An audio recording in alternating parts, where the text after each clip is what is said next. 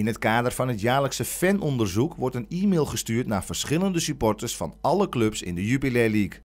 Ook supporters van Go Ahead Eagles kunnen een e-mail van de Jupiler League ontvangen met het verzoek om hun bijdrage te leveren aan dit onderzoek door het invullen van een vragenlijst.